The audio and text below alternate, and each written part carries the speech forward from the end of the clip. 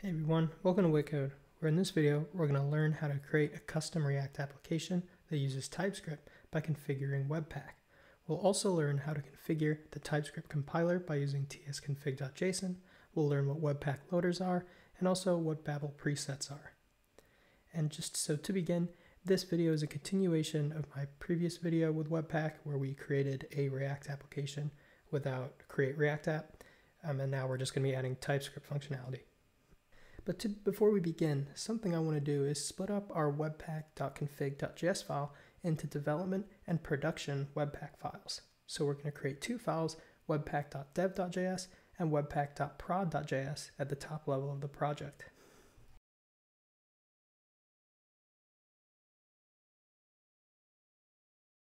So the webpack.dev.js file will contain webpack configuration that is only needed for development and the webpack.prod.js file will contain webpack configuration that is only needed for production. The file webpack.config.js will contain the commonalities between both production and development environments. But before we add any contents to these new webpack files, let's install the library webpack merge as a development dependency. This library will merge the contents of webpack.config.js with both the development and production webpack files.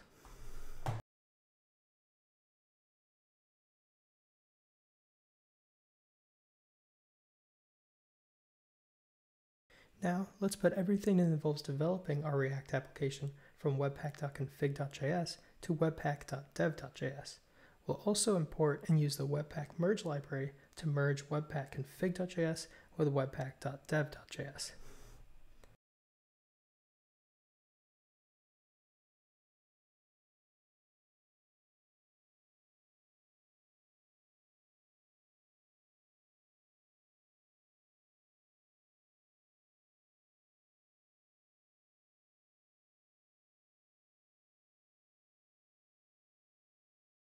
So first, we import the webpack merge library's merge function to combine webpack.config.js to webpack.dev.js.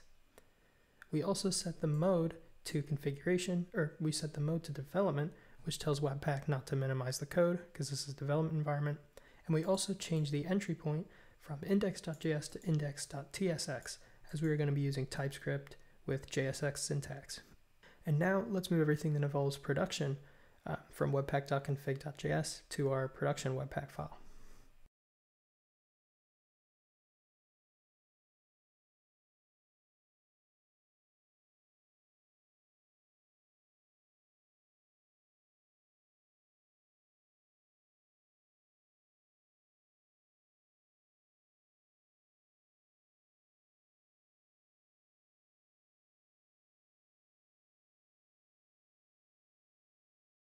So once again, we use the Webpack merge libraries merge function to combine um, our config file with our production Webpack file. And we also specify here the mode to be production, so Webpack will make the codes um, much smaller. This mode should always be used in production. But after moving all this, let's remove everything that isn't now a commonality between these two files.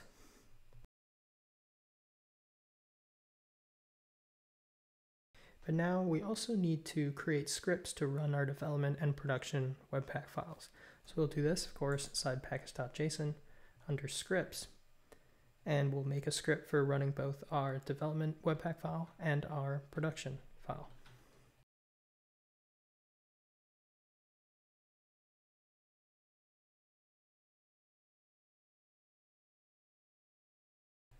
So this config option that we supplied allows us to specify the configuration file that we want Webpack to use.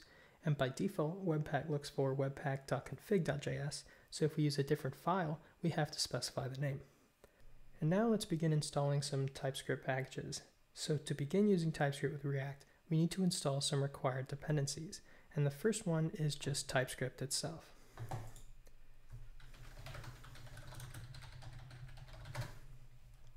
And so this TypeScript library adds optional types, close this for a sec, it adds optional types to JavaScript and compiles to readable JavaScript. And now let's install some additional required dependencies. So these are um, at types-react and at types-react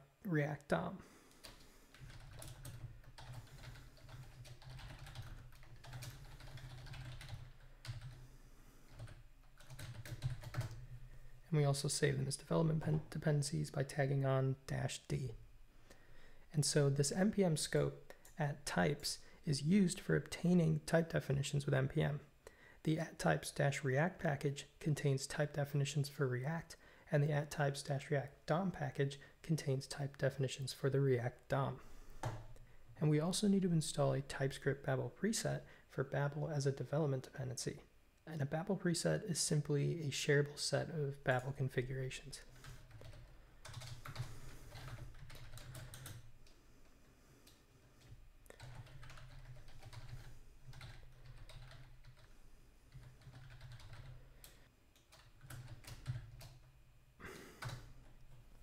So this package preset TypeScript includes a plugin transform TypeScript plugin, which adds support for type syntax used by TypeScript.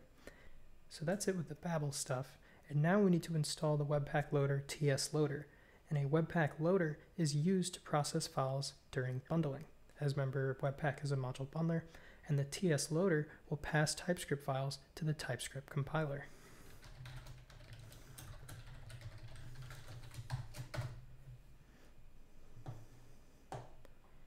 And let's now inform Webpack that we are going to be using the TS loader for TypeScript files. In other words, files ending with the extension .tsx or .ts. So we do this by adding another rule into our Webpack configuration file.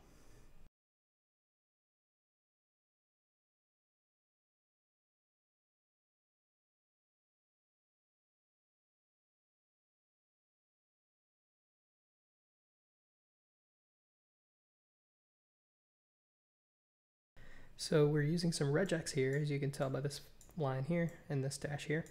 And essentially what it's doing is it's telling Webpack that for files ending in .ts or .tsx, we need to use the TS loader Webpack loader. We also tell Webpack to exclude the node modules folder as we don't need the TS loader compiling anything in there. And finally, we also need to add a key, resolve.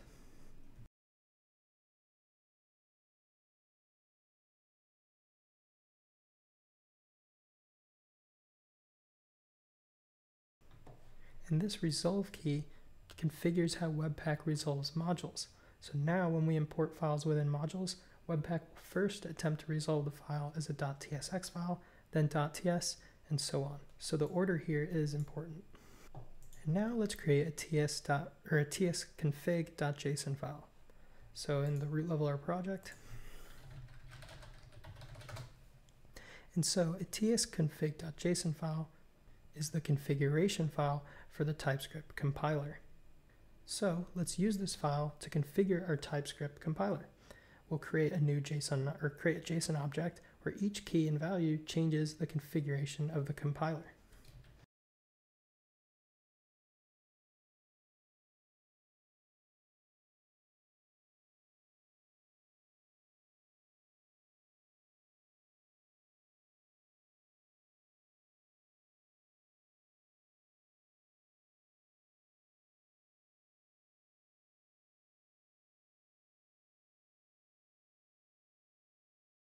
So the key compiler options contains the rules that the TypeScript compiler needs to enforce. Setting target here to ES2017 tells the compiler that we are using 2017 ECMA standards for JavaScript. We could use other ones. This is just one I've been using uh, recently. And setting the module here to common.js or common.js tells the compiler that we are using import and export for modules. Setting strict null checks to true tells the compiler that variables can only have null or undefined values if they are assigned those values.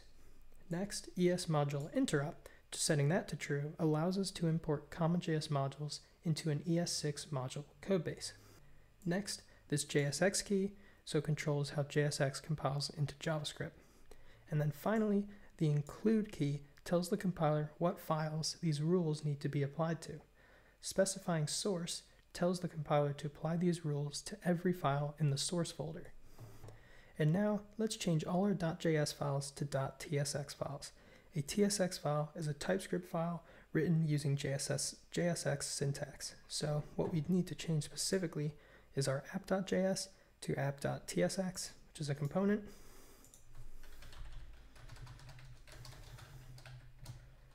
And then we need to change index.js to index.jsx or TSX. And now let's work with some TypeScript. So let's add some interfaces to our app component. We'll create an interface for both the state and props that are passed to this component.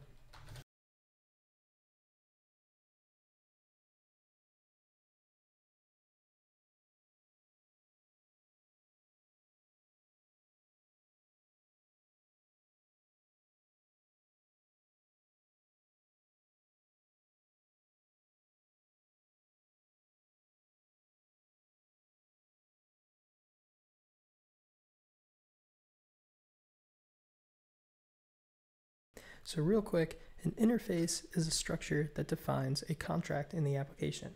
So we set a contract basically with the state and also the properties that are passed to this component. And we can see some useful TypeScript um, information. If I say we add another key in here, hello, set that to message, we'll get an error about how basically because we have an interface with the state where you only have a rendered property, adding any other ones will not be good unless we add string here. Then this would be okay. But get rid of these.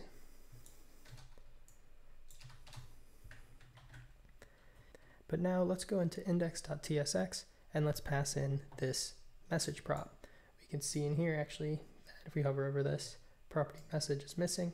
So of course we could make this not required like this and the error would go away. But if we do want it required could pass in the code. It's cool. So now we just have to run the application. So what we will do, close this again, to run this application in development mode, we just use the script npm start.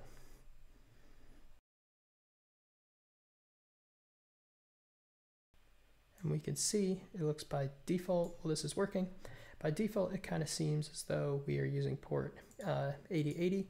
You could change this in the Webpack dev by using dev server, which I can maybe go over in a future video. But essentially, if you visit localhost 8080, you'll be able to access this application in development mode. And now we just need to try this out with production, which just makes essentially makes a, um, a build of our application. So if we do npm run build, It'll run our build script package.json. Let's search in here now, and here it is. So here's our build. So we have our dist folder, we have our index.html with our bundle.js, which here contains all our code.